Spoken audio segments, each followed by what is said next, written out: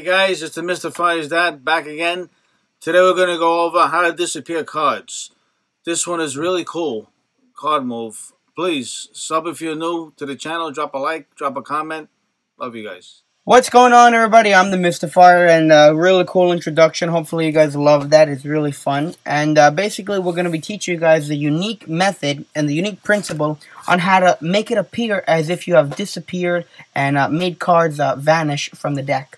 So I literally have done this effect over a million times, and I actually performed it actually tonight. I went to my friend Jerry's house, did some magic to his grandmother, and did this trick, and she literally had a conniption. It was wonderful.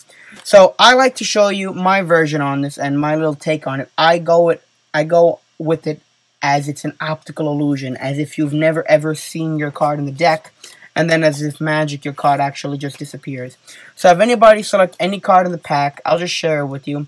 Um, they'll look at the card, and then uh, we'll lose the card about middle of the pack here, and say, we always do magic with the cards face down, let's try with the cards face up. Show the cards face up, and you have them um, try to look for their card. And they will not find their card here. Uh, please take my word for it, because uh, that's the, the idea here. And then you keep dealing and you keep telling them to please stop me if you do see your card. And you will not see your card because your card has 110% literally disappeared and it was all an optical illusion. And it's just so mind-boggling to the brain. And then you can have the card be uh, found in multiple ways. Uh, I just pull the card out of my pocket, but on the camera, I'll just pop it out, and then that's one card and one card only. Your card, the three of diamonds.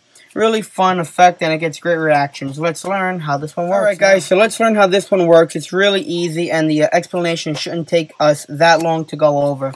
So basically what we're going to have, uh, have is someone select the card and look at the card. And the card is then going to be lost into the middle of the pack uh, convincingly. And then it really is just going to be controlled to the top of the pack here. So you can control the card to the deck in your favorite manner. Once the card is controlled to the top of the deck, here's where the magic kicks in.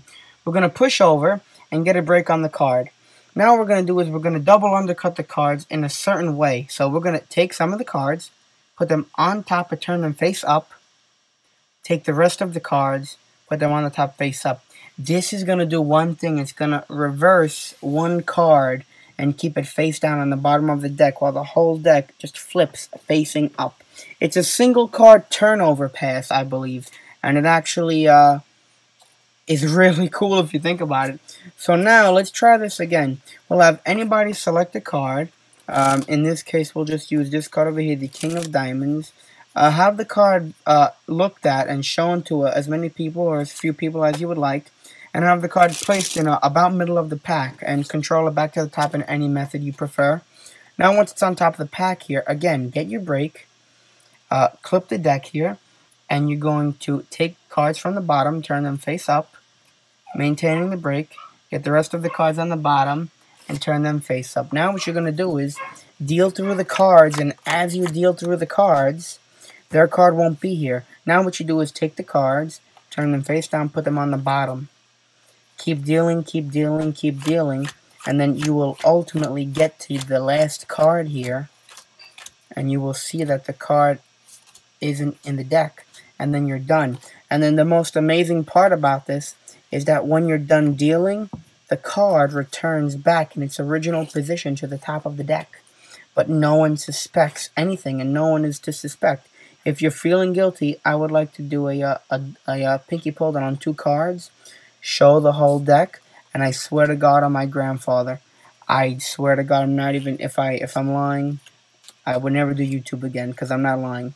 I never ever have to show it because that's over proving to yourself, not even to them. That's just for you.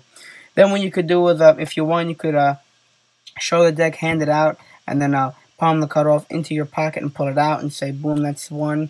Um, if you want another one you could do, you can actually uh, just do the uh, pop-out move by Chris Ramsay that I taught on my channel. Um, it's a really cool trick. It's not by Chris Ramsay. He just popularized it. It's actually by a man named Jack Carpenter. A really fun effect. I, I uh, highly doubt you tried to perform it and learn it on my channel. Please uh, check that out. And uh, that's really about it, guys. So thank you all for the love and support. I am the Mystefyer. Thank you all, guys. I love you so much. If you're not already subscribed and you're new to my channel, please hit that subscribe button and join the Mystefyer family and become a part of the Mystefyer family. I swear to God, you won't uh, regret it, and uh, we'll have a lot of fun getting to know you and welcoming you into the channel. Thank you guys. Have a great day, and I'll see you in the next one. You have just been mystified.